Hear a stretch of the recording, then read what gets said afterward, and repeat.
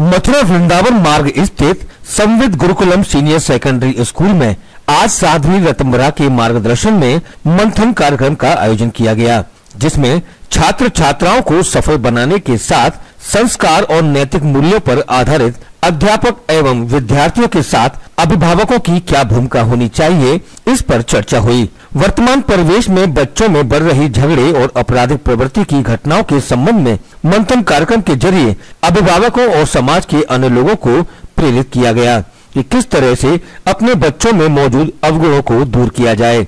साधु रतम्बरा ने कार्यक्रम में मौजूद समाज के गणमान्य लोगों, बच्चों और उनके माता पिताओं को अपनी मधुर वाणी से ज्ञान बोध कराया। वहीं कार्यक्रम में आए अन्य अतिथियों ने भी अपने विचार रखे। कार्यक्रम के संबंध में गुरुकुलम के निदेशक शिशुपाल सिंह ने बताया कि आज साध्वी रतम्बरा के मार्गदर्शन में मंथन कार्यक्रम आयोजित किया गया है, जिसमें बच्चों और अभिभावकों के साथ समाज के लोगों को दीदी माँ के मार्गदर्शन मिले। इसलिए ये कार्यक्रम किया गया है। पिछले काफ़ी समय से हम देख रहे हैं कि हमारे छोटे छोटे बच्चे आपस में झगड़ा करते हैं। यहाँ तक कि अपने साथी की हत्या भी कर देते हैं। और तो और प्रधानाचार्य की भी हत्या कर देते हैं। ऐसी स्थिति में हमारे छात्रों में कोई अवगुण या दोष पनप रहा हो तो वो हमें विचलित करता है। दीदी माँ भी इस पर चिंतित हुई और उनके मन में आया कि बच्चों और उनके माता पिता को दिशा बोध दूँ। इसी को लेकर आज ये कार्यक्रम आयोजित किया गया है। सर आज के आयोजन के बारे में क्या कहना चाहिए आज Sambit Gurukulam senior secondary school में पूज्य दीदी माँ का मार्गदर्शन मिलने जा रहा है। जो मंथन के नाम से हम लोगों ने कार्यक्रम आयोजित किया है। मंथन का अर्थ है कि सब लोग मिलकर विचार करें और वर्तमान की जो परिस्थिति बालकों में उत्पन्न हो रही है, उस पर गंभीरतापूर्वक उसकी चर्चा करें।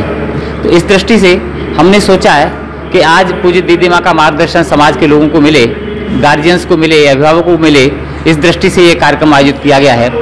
पिछले कुछ समय में हम देख रहे हैं कि हमारे छोटे छोटे बच्चे आपस में झगड़ा करते हैं अपने साथी का ही हत्या कर देते हैं अपने साथी को परेशान करते हैं और कुछ छात्र तो यहाँ तक उग्र हो गए कि वे अपने प्रधानाचार्य की भी हत्या कर देते हैं। ऐसी स्थिति में हमारे छात्रों में कहीं न कोई ऐसा अवगुण कोई दोष पनप रहा है जो हमें चिंतित करना हमें विचलित कर देना यह स्वाभाविक होता है। पूज्य और क्या बिंदु रहे इस मंथन में? पूज्य दीदी माँ भी इस विचार से चिंतित हुई और उनके मन में आया कि मैं अपने गार्जियंस को, मैं अपने जो बच्चों के माता पिता हैं, उनको एक दिशा बोध दूँ कि हमारे संस्कारों में कहाँ कमी आई है। क्या विशेषता रही है हमारी, जो सब कुछ ठीक होते हुए भी हमारे बच्चे उद्दंडता की प्रवृत्ति में बढ़ रहे हैं, इस दृष्टि से पूज्य दीदी माँ का मार्गदर्शन हम सबको मिलने वाला है और यह कार्यक्रम प्रारंभ हो चुका है।